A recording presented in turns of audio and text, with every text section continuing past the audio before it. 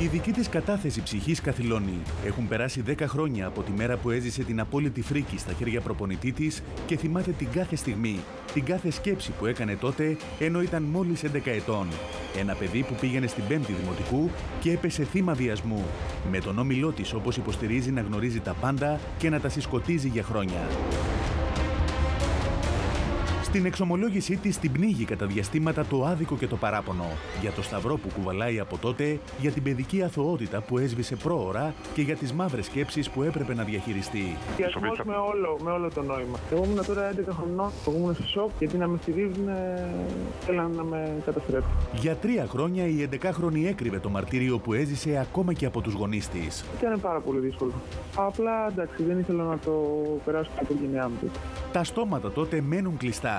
Οι γονείς της 11χρονη βρίσκονται μπροστά σε ένα μεγάλο δίλημα, ενώ οι υπεύθυνοι του ομίλου της διαλέγουν, όπως λέει σήμερα το θύμα, τον εύκολο δρόμο, αυτόν της σιωπής. Είχαμε πάει, είχαμε ζήσει περιοριστικά μέτρα. Έπρεπε ή να διαφυλάξουν εμένα, οι γονείς μου, ή να γίνει ένας διασυρμός σε ένα ολόκληρο χωριό που ήταν πάρα, θα ήταν πάρα πολύ βαρύ για μένα 11 χρονών.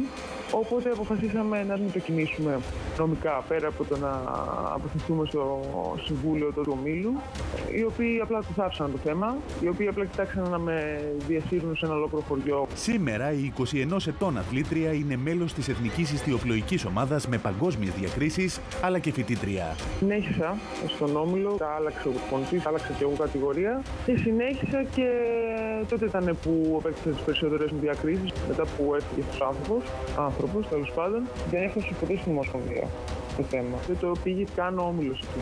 Αυτό που το καλύψανε στην ουσία είναι η φυγή είναι και αστείο του ομίλου, διοικητικό του ομίλου. Ο θόρυβος που ξεσήκωσε η εξομολόγηση της Σοφίας Μπεκατόρου της έδωσε το έναυσμα να δημοσιοποιήσει και το δικό της μαρτύριο. Αυτό που τη βασανίζει ασταμάτητα εδώ και μία δεκαετία. Αυτό που μάτια προσπαθούσε να θάψει. Με όλο, με όλο το νόημα. Πέρασαν τρία χρόνια για το του μου. Δεν άντεχα άλλο και έπρεπε κάπου. Όλο το θάρρος να το πω στους γονείς Με το που το μάθανε οι γονείς μου, πήγανε κατευθείαν στην αστυνομία και τη βράδυ λοιπόν. Ήταν εκείνη που πήρε τηλέφωνο της Σοφία Μπεκατόρου πριν από λίγες μέρες και της μίλησε ανοιχτά. Επικοινώνησα με τη Σοφία θέλοντας να μήνυμα υποστήριξης όπως θα έχει λάβει πολλά άλλα.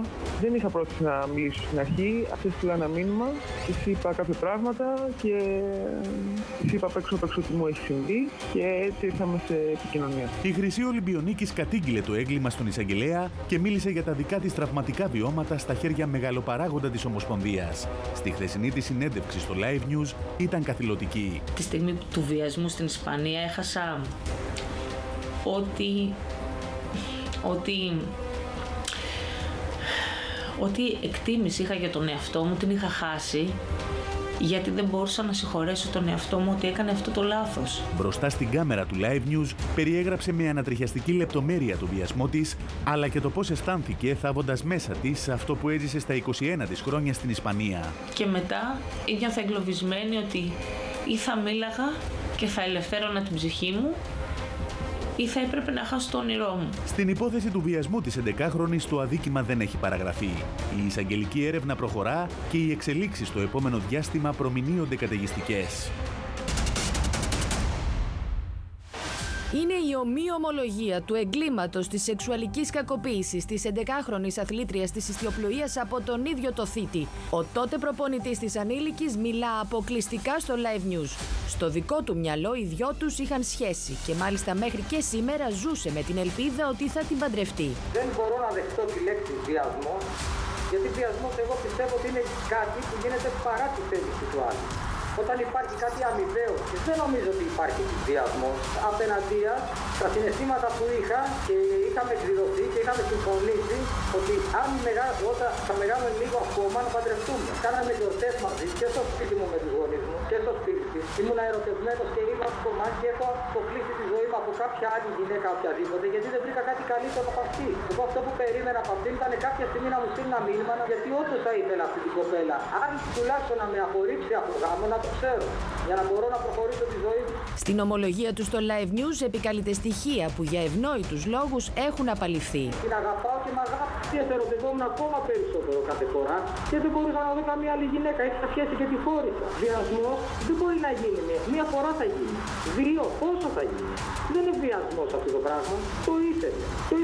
Το ήθελε και περισσότερο από μένα δηλαδή. Το ήθελε και έχω τραγικά στοιχεία ας πούμε, να αποκαλύψω. Δηλαδή μια κοπέλα δεν μπορεί να παντρευτεί μικρή και σε πληροφορώ ότι από μια φτωχή οικογένεια υπάρχει μια τεράστια οριμότητα. Τα παιδιά που προέρχονται από μια πολύ φτωχή οικογένεια είναι τα πιο όρη. Ο 38χρονο σήμερα άνδρας παραδέχεται τη σεξουαλική του επαφή με την ανήλικη, την οποία όμως δεν θεωρεί λάθος, γιατί όπως λέει σκόπευε όταν μεγαλώσει να κάνει μαζί της οικογένεια. Εμένα μου έπεσε ένα κεραμίδι στο κεφάλι γιατί περίμενα ένα κορίτσι να με αναζητήσει για να λήξουμε τη σχέση μας ένα γάμο και τελικά καταλαβαίνω ότι έχω καταγγελία που για βιασμό που δεν επέβαλα κάτι ποτέ απέναντία. Με ήθελα. Μιλάμε όμως για ένα παιδί που ήταν 11-12 χρόνων. Ναι, δεν υπήρξε σεξουαλική επαφή σε 11 ετών και δεν υπήρξε για το ένα απλούστατο λόγο ότι μου είχε στείλει μια φορά ένα μήνυμα κρυφά από το κινητό του πατέρας τη και την άλλη μέρα πήγα και του κώδικα να το διαχειριστούν όμορφα. Σίγουρα πλατωνικό ήταν όπως ερωτεύεται μια κοπέλα τον ε, δάσκαλο ή ένα αγόρι τη δασκάλου. Αλλά όσο μεγάλωνε και εμένα μ' άρεσε που προερχόταν από μια φτωχή οικογένεια γιατί ήταν πάρα πολύ τίμια. Και δεν με ένοιαζε γιατί έλεγα ότι εγώ όλα αυτά θα τα ξεπληρώσω, θα τα δώσω πίσω. Είχα και έχω συναισθήματα. Η σχέση σε ποια ηλικία σταμάτησε να είναι πλατωνική; Αυτό δεν το θυμάμαι. Πάντως δεν ήταν 11 χρονών. Αυτό είναι. Δεν, δεν μπορώ να το δεχτώ. αυτό. Ήταν 12. Ήταν μεγαλύτερη, δεν μπορώ να το δεχτώ αυτό. Σίγουρα εγώ έβλεπα ένα κορίτσι που έχει τρελές βάσεις να κάνει οικογένεια ωραία και δεν έβλεπα μεγάλη διαφορά ηλικίας στα 16 χρόνια. Κάποτε παντρευόντουσαν έτσι μόνο. Δεν το έβλεπα κακό. Είχα επενδύσει πάνω σε αυτό το παιδί ότι μεγαλώνοντας εγώ δεν θα την παντρευτώ. Σύμφωνα με τα λεγόμενά του, όταν η σχέση του έγινε γνωστή, ενημερώθηκε ο όμιλος και ο νεαρός τότε προπονητής απολύθηκε. Τότε ήταν που βρήκε τον πατέρα της, ο οποίος ξεκαθάρισε ότι θα ακολουθηθεί η δικαστική οδός. Με τον Όμιλο πώς διακόπη η συνεργασία; Με πήρανε τηλέφωνο και μου είπαν δεν ξανάρχεσαι. Μετά συναντήθηκες με τον πατέρα, με τον πατέρα της. Κα- Είναι και τον ευρήκα, ναι. Καλά του λέω τι είναι αυτό το πράγμα; Θα τα πούμε, μου λέει σαν εισαγγελέα. Ο πατέρας της αθλήτριας έβλεπε ότι ήμασταν φουλ ερωτευμένοι. Δεν ξεκόλλαγε τα μάτια της από πάνω μου. Το καταλάβαινε. Αλλά οκ, ρε παιδί μου. Τον έκανα παρέα, πρέπει με έκανε παρέα. Πηγαίναμε μαζί όπου, όπου φαντάζεσαι. Ο κολλητός μου ήταν. Ε, εγώ ήθελα να πάω να τους τα πω έτσι όπως είναι. Μα τον πατέρας να τους μιλήσω και να του πω ξέρεις κάτι. Ναι, είμαι με την κόρη σου και τη θέλω. Για γάμο την ήθελα. Για γάμο ξεκινήσαμε. Λέω εσύ μ' αγαπάς. Θες να παντρευτούμε; Ναι, θέλω. Εντάξει, μην υπολογείς. Οκ, θα ήταν λίγο πιο σκληρό. Πάντα ένας πατέρας είναι λίγο πιο σκληρό να το ακούσει αυτό για την κόρη του. Αλλά δεν είχα, δεν είχα πονηρό σκοπό και, πλα- και πρόστιχο. Θα μεγαλώσει λίγο ακόμα, θα τη σπουδάσω, θα τη φροντίσω. Την αγαπάω, ρε γαμώτο. Δηλαδή είναι ντροπή να αγαπάς έναν άνθρωπο, θα μεγαλώσει. Σιγά πια 16 χρόνια διαφορά, οκ, ρε παιδί μου, έχουν γίνει και πολύ μεγαλύτερα και υπάρχουν οικογένειες έτσι. Ο πατέρας της όμως δεν γνώριζε, είπαμε. Ο πατέρας τον κυνήγαγα στο τέλος και μου άλλαζε θέματα γιατί καταλάβαινε τι ήθελα να του πω. Και το έβλεπα, τους μορφασμούς, το στραβοκατάπημα αυτά και δεν μου έλεγε Αϊ, θα αρχίσει, έκοψε. Ο τότε προπονητής ιστιοπλοείας συνεχίζει την περιγραφή μιλώντας αποκλειστικά στο Live News, ισχυριζόμενος ότι τα συναισθήματα ήταν αμοιβαία, ότι δεν περίμενε ποτέ μια τέτοια καταγγελία σε βάρος του και μέχρι και σήμερα παραμένει εργένη, ελπίζοντας ότι οι δρόμοι τους θα ξανασυναντηθούν. Περίμενα να μεγαλώσει μετά τα 18 την παρακολουθούσα και λέω άντε ρε γάμο, θα μου πάρει ποτέ τηλέφωνο. Δεν ήθελα να την ενοχλήσω. Ξέρεις αυτά τα πράγματα θέλει, θέλει να σε αναζητήσει ο άλλος. Είχε, υπήρξαν αγγελιοφόροι που, που, που, που ξέρανε που είμαι. Την περίμενα να μεγαλώσει, να με διαλέξει μόνη της, να μας την αγαπάω. Πώς θα το εξηγήσω, δεν το έκανα και τώρα το έχω μετανιώσει. Πώς μπορώ εγώ τώρα να πω ότι το βίαζα αυτόν τον άνθρωπο; Βρε, είχα δεσμό και τη χώρισα για αυτή την κοπέλα. Για αυτή την κοπέλα είχα, δεν μπορούσα να κοιτάξω κανέναν άλλο, αλλά δεν ήταν το σεξουαλικό. Για όνομα Θεού. Έβλεπα άλλα πράγματα. Ήθελα να πω στην οικογένειά τους, να τους στηρίξω, να τους βοηθήσω. Που είχα πολύ άγνα συναισθήματα. Ειλικρινή. Ποιο βιασμός. Άμα, άμα ρωτήσετε τα, τα παιδάκια εκεί μέσα που πλέον είναι ηλικία τους, θα σας το πούνε όλοι. Ήθελα να την παντρευτώ, πού το κάτω.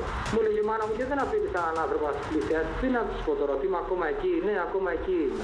Η 20χρονη σήμερα αθλήτρια αναμένεται σύντομα να κληθεί στον εισαγγελέα προκειμένου να καταθέσει τη δική της εκδοχή για τον εφιάλτη που άρχισε όταν ήταν 11 ετών.